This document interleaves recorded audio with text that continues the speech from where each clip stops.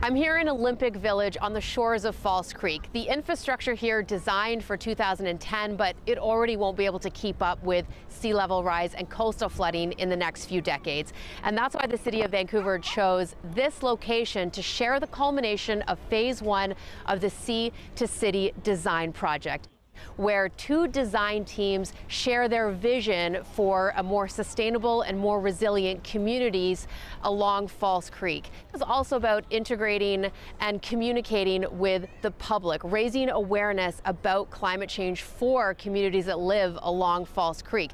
What did that look like? An intergenerational photo gallery and the town choir, literally a town crier. Singing live observations from artists in coastal communities around the world Vancouver, Brooklyn, Mumbai, and Tokyo, sharing their thoughts about a world of rising sea levels. So, what does the future of False Creek look like according to these design teams? Well, a big part of the process was working with Indigenous communities. Of course, Vancouver is situated on the unceded territories of the Squamish, Musqueam, and Tsleil-Waututh nations, the stewards of this land and water for centuries. And it was working to bring back Indigenous uh, practices and also flora and fauna.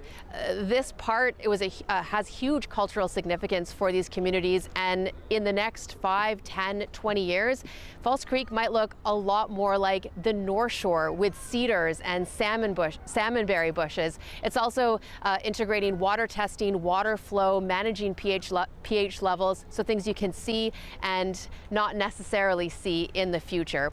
That future is maybe four to 10 years away. After this phase one is complete, the City of Vancouver will be taking pilot projects from these two design teams and hopefully integrating them in the near future. Johanna Wagstaff, CBC News, False Creek.